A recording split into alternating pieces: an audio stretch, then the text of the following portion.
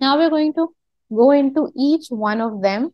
So first type is going to be your converting assets to expenses. That means that the first type that we're going to go into is our deferral prepaid expense. This is the first one that we are going to discuss.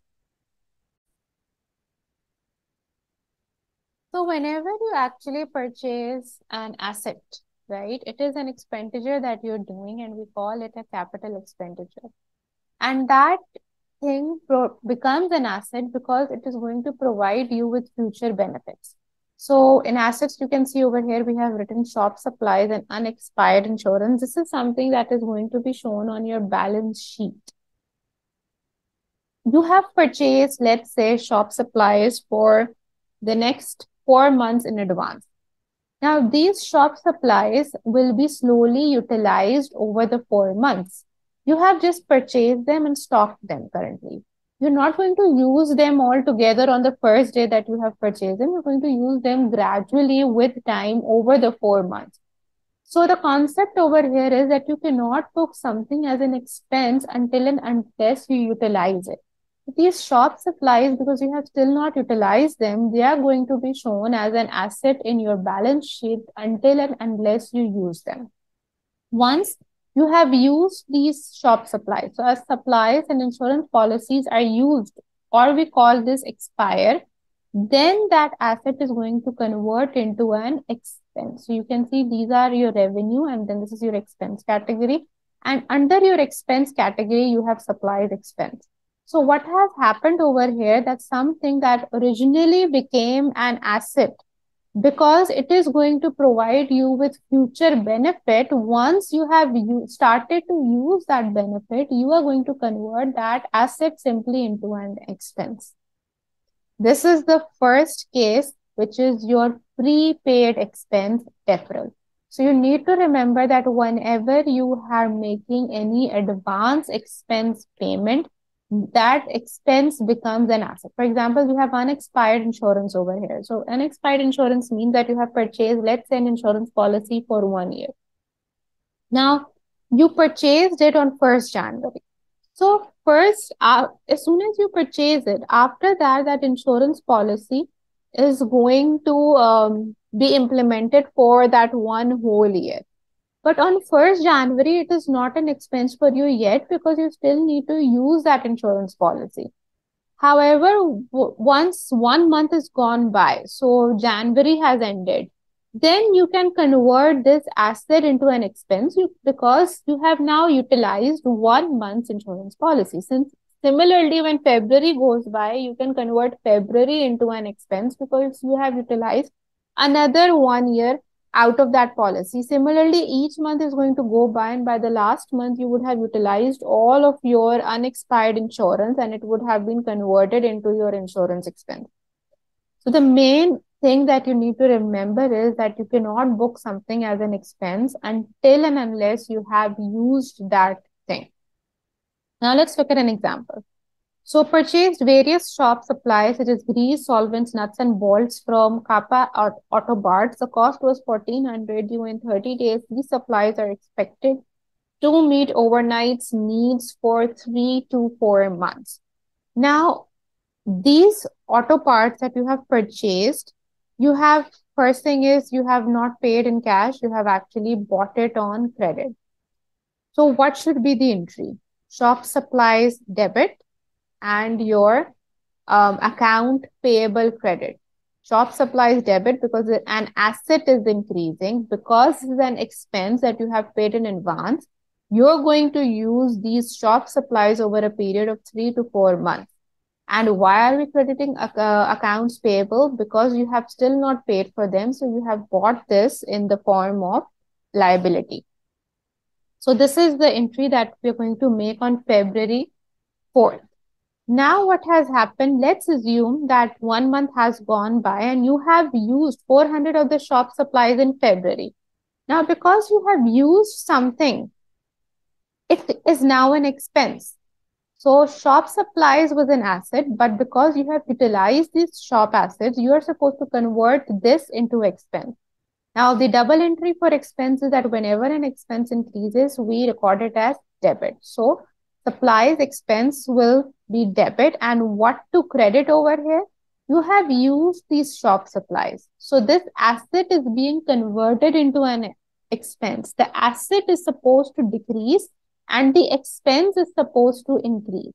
So for that, we are going to credit our shop supplies amount. So what is happening? Supplies expense is increasing. That's why we're going to debit it. And shop supplies are decreasing. That's why we are crediting it over here. Now, this means like if we are crediting this, what does this mean? It means shop supplies have decreased by 400. So shop supplies, if they are 1400 currently, 1400 minus 400 will give you 1000. So you still have 1000 remaining shop supplies with you. So this is what this means that we have, this is 1400. I'm going to write it over here minus, right it. Let me just use text. So we had 1400 minus 400 and 1000 is the remaining shop supplies. Now, if one month goes by and let's say we use 200 more of shop supplies, so the remaining shop supplies balance will be then 800. So you're simply converting asset into an expense in this scenario. It's going from your balance sheet into your income statement. Okay. Let's see the other scenario now.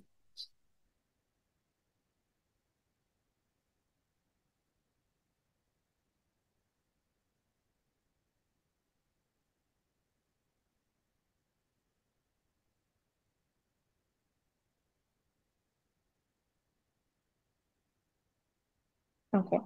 Now, the concept of depreciation is also actually based on this. Um, depreciable assets are physical objects that retain their size and shape, but that eventually wear out or become obsolete.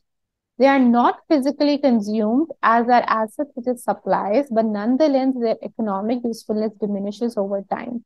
Examples of uh, depreciable assets uh, include buildings and all types of equipment, fixtures and furnishings and even railroad tracks. So any non-current asset, an asset that you're going to use for more than a year is a depreciable asset.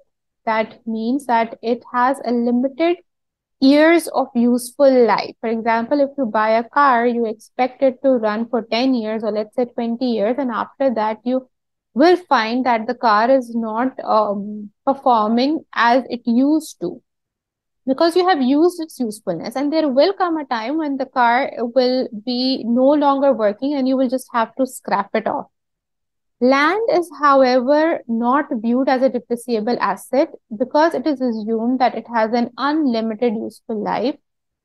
The term depreciation means the systematic allocation of the cost of a depreciable asset to expense over the asset's useful life.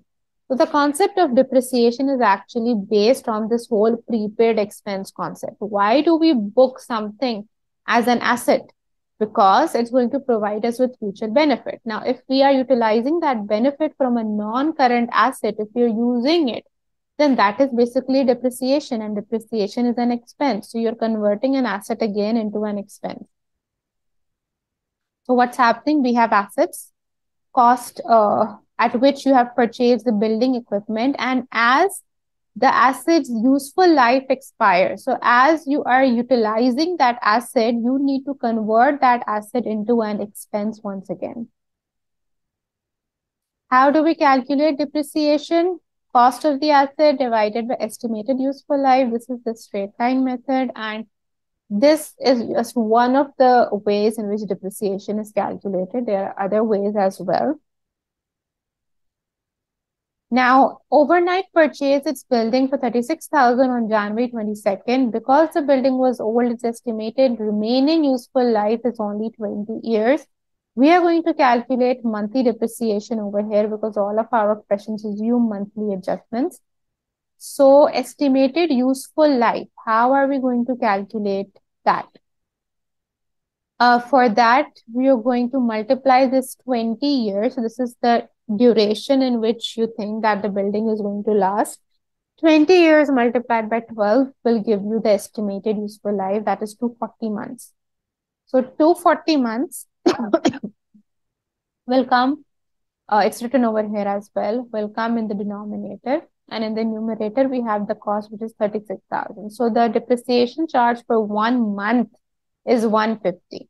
And in December, so we're just charging the depreciation for one month we're going to debit our depreciation expense and we're going to credit accumulated depreciation building. Now, depreciation expense, we're debiting it because it's an expense account and when an expense account is recorded, we debit it. Why are we crediting accumulated depreciation account and not using the building account? So when we're calculating depreciation, we do not credit the building account directly, we use a contra account and we accumulate all of the depreciation in that account. So it has the same impact as actually reducing the building value, but we want to keep the building value separate, the historical cost separate, and we want all of the value that is being subtracted to be recorded in another account, which is called a contra account so that we can calculate the net book value as shown over here. So building 36,000, this is always going to remain at its cost.